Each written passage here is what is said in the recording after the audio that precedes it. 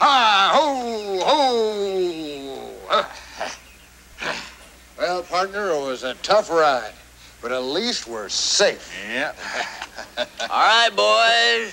Throw down that strong box. Do what he says.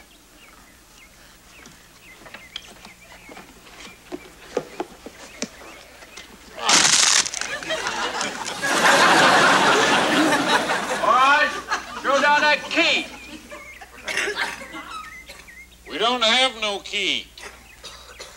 All right. Now, shoot the lock off.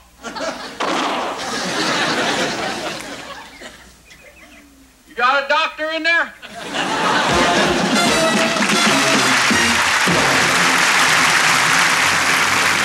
Ladies and gentlemen, it's not easy being the funniest man in the world, but here's a man who has to live with it on a daily basis. Here I am, Tim Conway.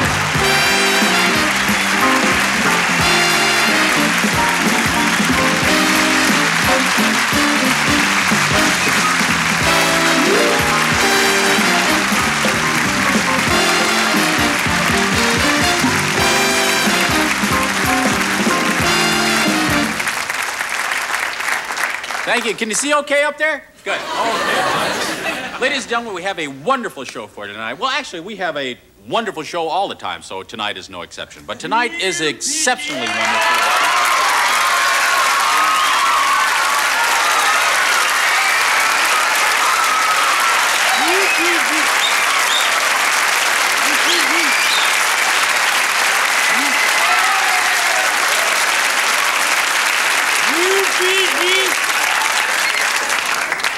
Hey, you, you seen my pigeon? Excuse me, uh, I don't know exactly. What are you looking for, and what are you Well, I'm- doing I'm here? looking for my pigeon. it's obvious. He, he flew in here. He's a little, little gray sucker. Uh-huh. And he's got this white ring around his neck, and he answers to the name of Floyd. Look, we're, we're trying to do a television show right here, right now. So if you don't mind, you mind, huh? You see, Pidgey. Here, Pidgey. I think your pigeon has permanently flown its coop. Look, lady, this happens to be a television studio, all right? We're doing a television show. Yeah. It's lucky for you I came along. You know. Uh-huh. Yeah, show business is my life, you know. Is that right? Yesterday they told me I would not go far. and here I are. My brother and me, we was born in trunks. Mm-hmm. I still got mine on. You want to see it? No, no. That's, fine. We'll just. Well, show business. I paid my dues, you know. I have hung my tux on a nail. Mm-hmm. You know? can understand that. I roared at the grease paint and I smelled like a crowd. I come from a show business family, you know. My mother had this uh, elephant act.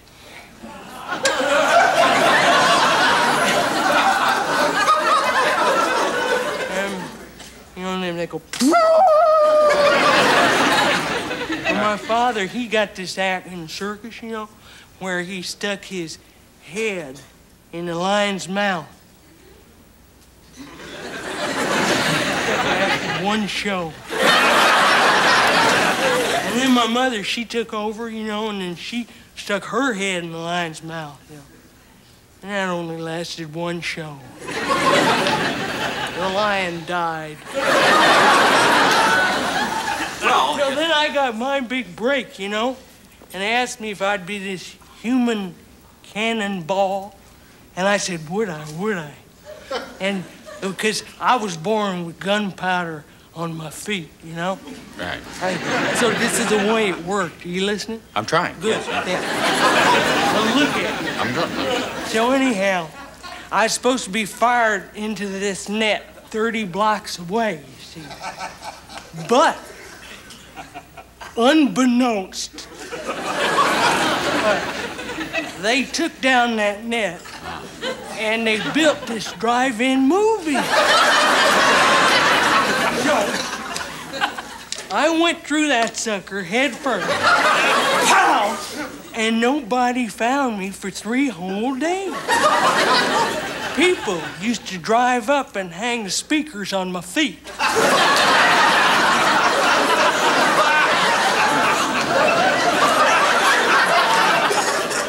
Saw Brubaker 47 times. It was a horrible accident, you know. I broke every bone in my body. Except one. You want to see No, it? I. Just, uh, no. Yeah, it was awful. The doctor, he he took one look at me and he said, "You'll never sing again." but I'm gonna show him. Cause tonight I'm gonna be on this show and I'm gonna sing again. Uh-huh. America's sweetheart is back. Hit it, guys. A little louder. the stars at night are big and bright.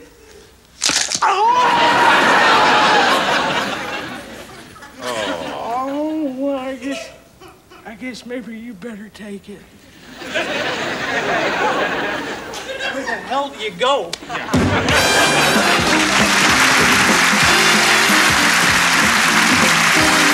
It's the Bird Lady Show with Patty Roswell, Miriam Flynn, Dick Orkin and Bert Curtis, and the Don Crichton Dancers.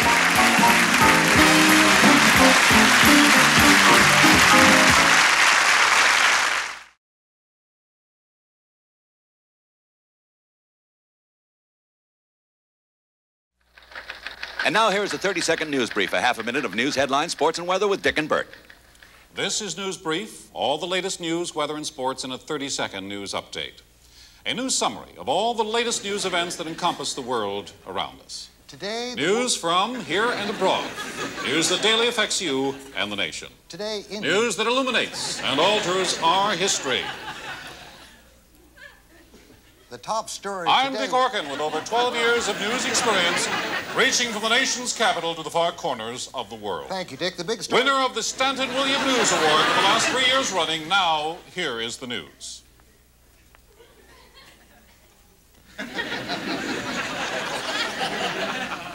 Today, This has been a 30 second news brief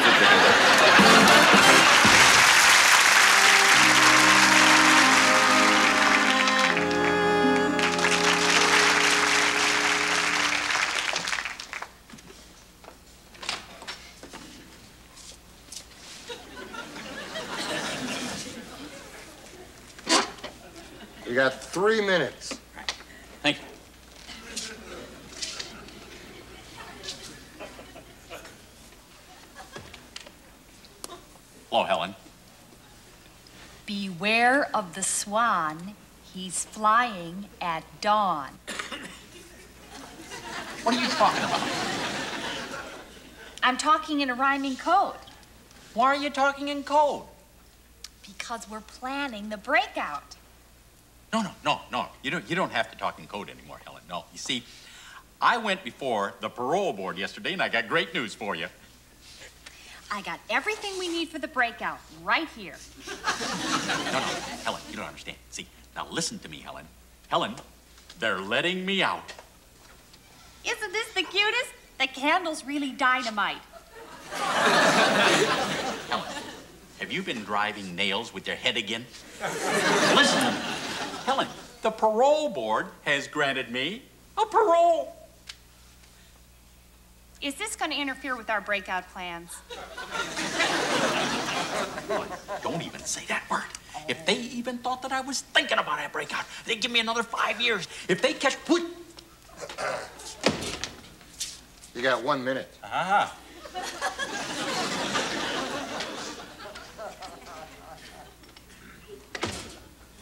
Helen, listen to me. Now, we don't have time. We have to go over the plans for the breakout.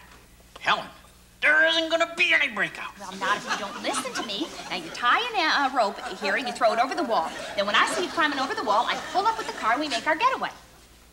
Helen, listen to me. Tomorrow, I'm gonna be on the outside. Oh, well, then we'll need two ropes.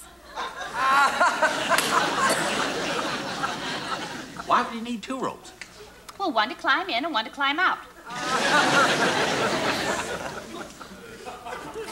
Why would I want to climb into prison? Well, how else are you going to get out? Have you been smoking the drapes again? Listen, you gotta get that out of here and fast. If they catch me with this thing in here, they'll give me another five years. Now I mean it. Get out of here and get out of here fast. All right, all right, but let me tell you one thing before we I go. You know the woman that lives next door that has the German Shepherd? The woman has to go out of town, something about her sister having trouble with her husband, and she asked me if I'll take care of the dog and the puppies. So I thought, well, I can't get in too much trouble. But anyway, you should have seen that dining room rug after the puppies and all, you know.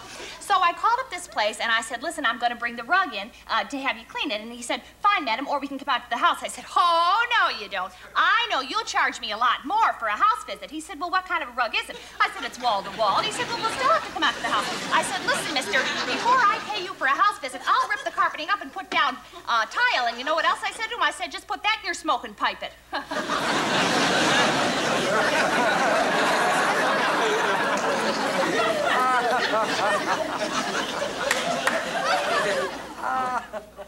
This thing out of here. Get it out of here now.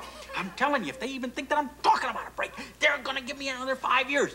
And another thing, why in your wildest imagination would I take this rope and this dynamite, blow a hole in the laundry bin, take the rope, throw it up over the wall, and then crawl down over the wall and have you meet me in a getaway car? Don't you know that these guards are liable to if they even thought that, if this guy even thought that we were talking about, you, you know if we were talking about an escape here with this dy, dynamite. Uh, I'd get a, I'd, get, I'd probably get another, uh, Five years. come on. see you next week, Helen. yeah, I'll bring two ropes. Don't worry. All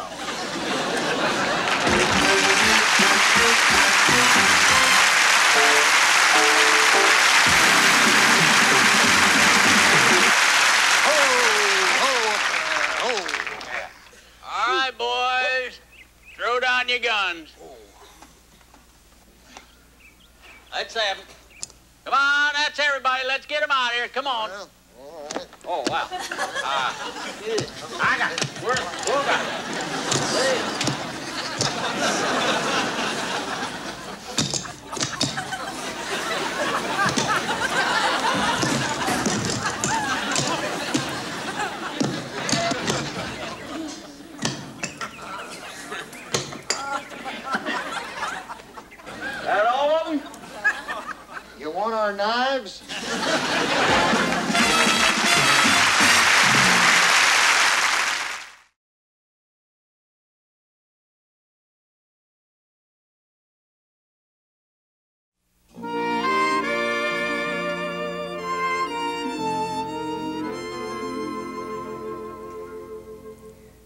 John, it's been 12 long years since you joined the army and went away. When your letters stopped coming 10 years ago, I knew something was wrong. Oh, what I'd give to see your face again, to be near enough to touch you, to touch your face, and then slide my hands down to your neck and squeeze every ounce of air out of your worthless body for the pain you put me through. but I couldn't do it. Because I still love you and miss you and only wish you were here to share in the inheritance that I've come into. Despite all the suffering you've caused me, I could forgive you in a minute if you just bring me flowers like you used to.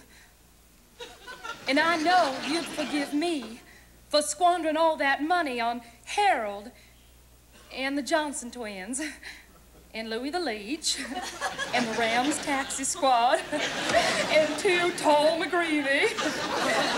Oh, hon, I know I've wasted the money terribly. Well, I spent $200,000 on that red Chinese vase alone. oh, I have some money left. But it's not much. Only four or five million. and I wanted to save that little bit for when you come back. But you know how I am about banks. So I thought I'd hide the money in the couch. And protect it with a rat trap.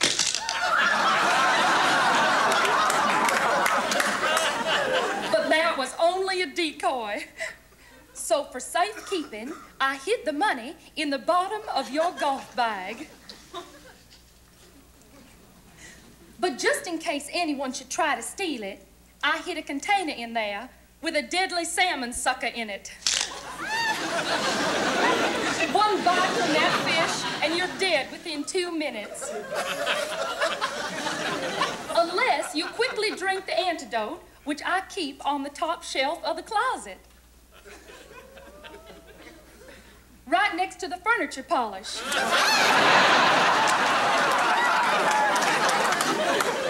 and behind the oven cleaner.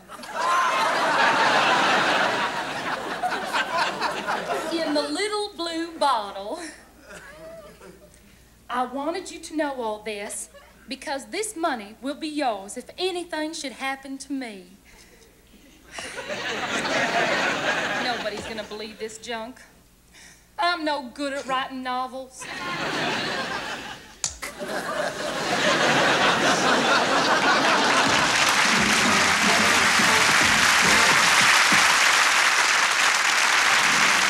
Ladies and gentlemen, the Don Crichton Dancer.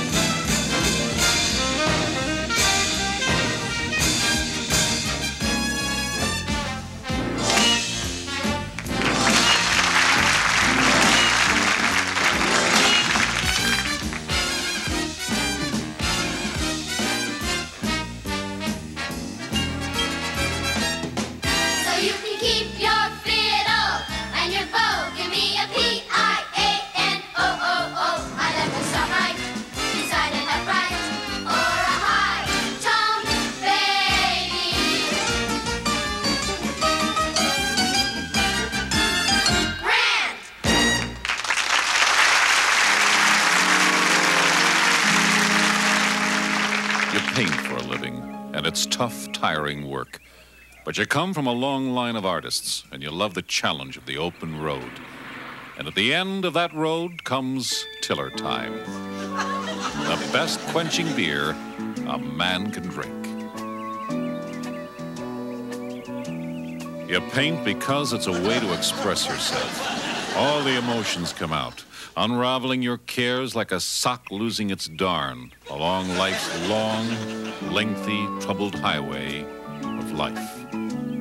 Yes, you make a clear, bold statement, definite, daring. Nothing middle of the road will do. That's why you won't settle for anything less than a tiller beer. Yes, painting's in your blood. So you push yourself to keep on going, giving people what they want to see. You lead them, showing them the way to reach places they've never seen before, or once they've seen, don't recognize it for what it is. But you know what it is, you're just not telling. Then you reach for a tiller, because tiller takes you places. A land of great taste and enjoyment. That's Tiller beer. Others will try to follow in your footsteps, searching to find that path you and only you have pioneered. And so you paint on, creating something that will leave the public gasping.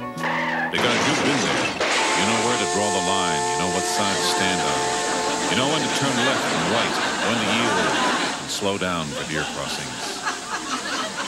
And then at the end of the day, you know what your reward is. A Tiller beer, that cool, satisfying drink that leaves you smacking your lips for more. You'd like to quit, but you can't.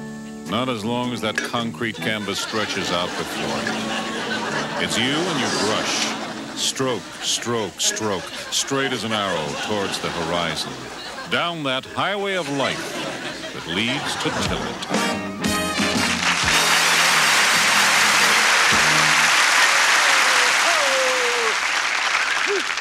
Well, was one tough trip, partner, but we made it. Sure was, yep. Highland, Highland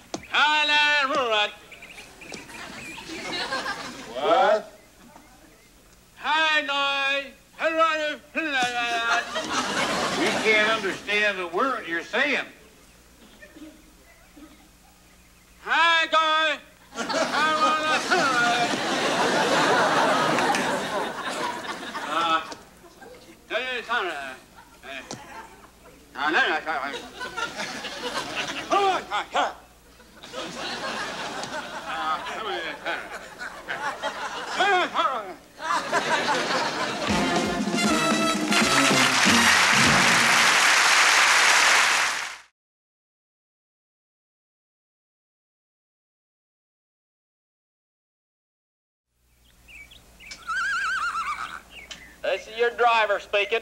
You'll be taking off momentarily. We'll be traveling at 11 miles an hour. Want a? Contact your stewardess. Now go on to move out. Yeah. Due to mechanical failure, flight delay. Well, that's almost our show for tonight.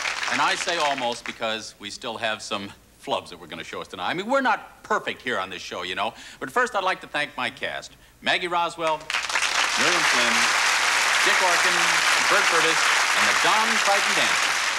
And of course, these aren't the only people to be grateful to. I'd also like to say a big thank you to some of the little people. Paul Williams, Mickey Rooney, and all the jockeys at Santa Anita. Thank you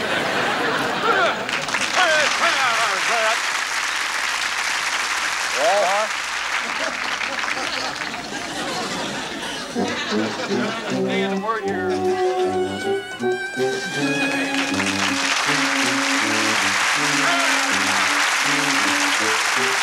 of